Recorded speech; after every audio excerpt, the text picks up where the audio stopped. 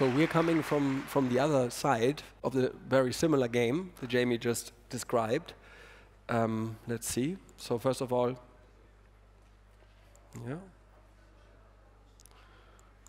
See, it was flawless when Jamie did this, but it's not with me. Now it starts. So we're, we are coming from 1,5 from a different perspective than the one that Jamie has just described. Um, we believe that there is a future pos possible where you literally can live on wind and sunlight forever for free. And in the end, it's just about, for us in our minds, it's just about connecting all flexible loads, and everything that's electric could be a flexible load in general, to wind and sun. Because the primary energy of wind and sun is, in the end, for free. It's delivered free, it doesn't have to be mined, it doesn't have to be paid. We don't have to pay the Saudis, um, we don't have to pay anyone. Um, so it's just a question of how do we get wind and sunlight connected with all these different assets um, in a meaningful way. And of course, when we founded 1,5 two and a half years ago, um, uh, we also ask ourselves, like, what does it really need to get even one building into the area that it becomes CO2 neutral? So we stepped away and said, okay, we have the privilege of being four founders and just thinking about how can you scale something in six years to make any kind of difference. So, and, and we came up with the master plan, um, how to do that, and we had the freedom of not caring about any limitations. So we came up with this master plan in July 2021, um, and we wanted to basically live up to the claim of always providing the cheapest and cleanest power for everyone. And in the end, it's, in the end, it's an ele electrification game, right? We need to electrify all heatings, we need to electrify all mobility, we need to electrify um, uh, all systems that are currently run by fossils. And we thought, okay, the first problem is, and it's very similar to Jamie, the first problem that we all know really well from our careers is the installers. So we, we thought like it's not possible whenever you come with technology into these markets, you get stuck in the mud. And the mud is that there is a last mile that is not optimized for the scale. It's not optimized, it's never been, it's not been designed to actually deliver within six, five, or even 10 or 20 years this kind of change. So it's not fit to do it. So you cannot overlook that, and we, we try not to overlook it because most companies want to stay out of the mud. We decided we go into it, and we decided we need full control. So what we're doing is um, we are acquiring companies we use those acquisitions to get in the market profitable, and then we take full control because we think if you want to change something, you need vertical integration of the entire process. That's chapter one. Let's see how it goes. Chapter two of the master plan then is to say, okay, 50% um, of all cost in what we do is labor cost. Um, and we believe we can reduce that by more than 50%. To be honest, I think it's even more with AI coming in when it comes to service, quality management, and so on. There's so many processes, electrical planning, maintenance, warranty issues, but also uh, remote maintenance that you can apply. So, so, there's a lot to do, and there is no, let's say, digital um, workbench, or I like to say virtual assembly line. So the second point is you need to decrease cost by 50% or more in order to make this even more affordable because the upfront investment needs to go down to scale. And then the third point is, or chapter is, if you are successful in one and two, this means you will be pushing into the grid thousands, even millions of decentralized systems. And there is no true marketplace for these systems.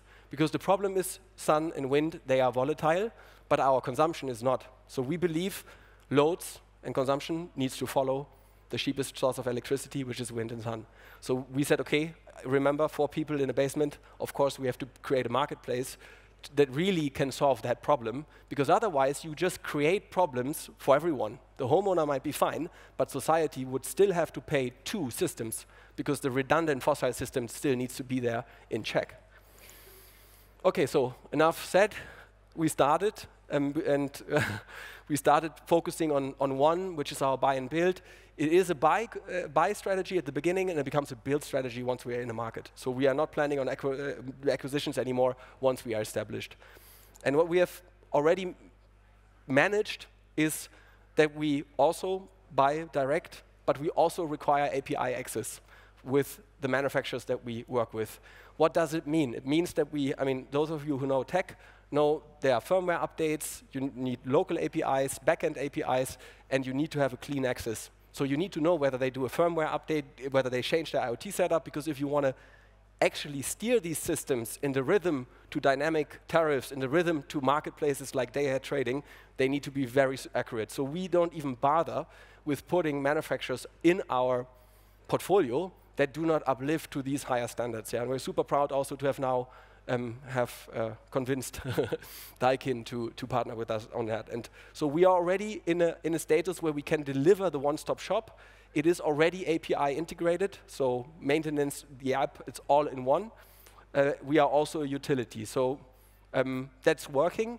And we just heard it, costs are coming down, and that's our main aim, right? Um, in the first milestone, we want to have at least 35% cost reduction. We are now at 30%, and this allows us to actually, and that's the wrong number.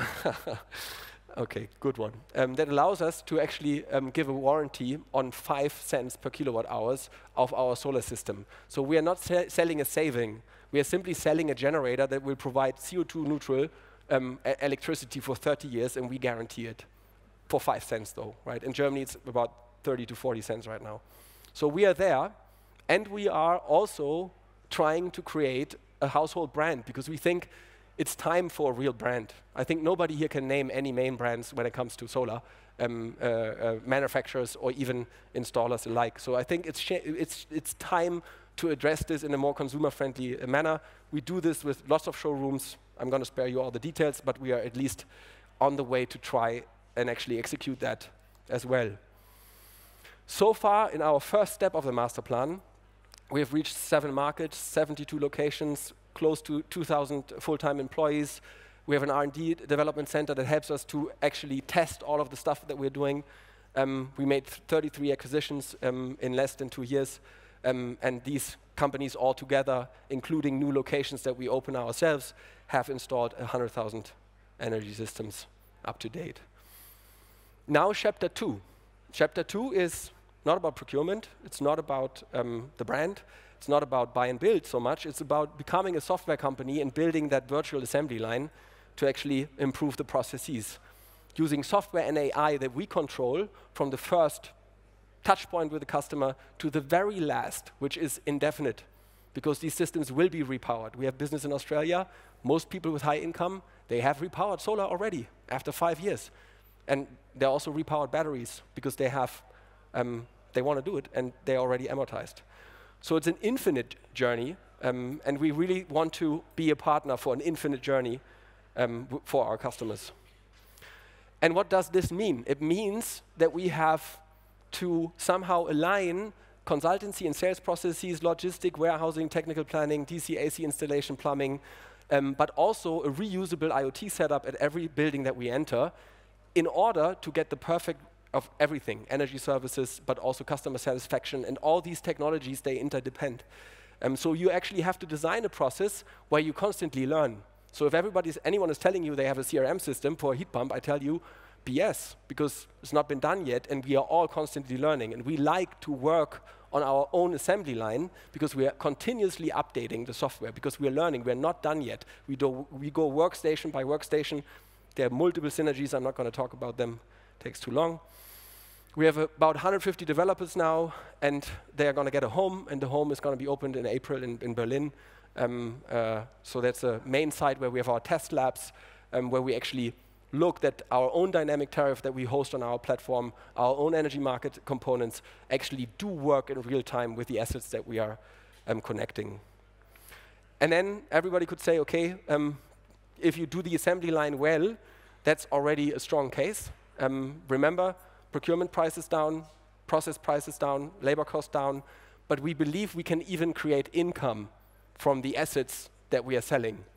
And we think that if you are not capable of designing your solution in a way that you create income instantly, and also thinking of that potential value, you will be lost in a couple of years. Because people will learn that if they buy a heat pump now, and it's not compatible to anything, smart meter rollout, smart meter gateway regulation, energy services, they're going to have a horrible, horrible total cost of ownership and experience. So we believe they're going to be ecosystems that will provide the best service on top of that, And of course, you can already assume we want to be that ecosystem. Yeah? And um, so we are a utility. We operate our own balance circle management because you actually have to buy the electricity day ahead.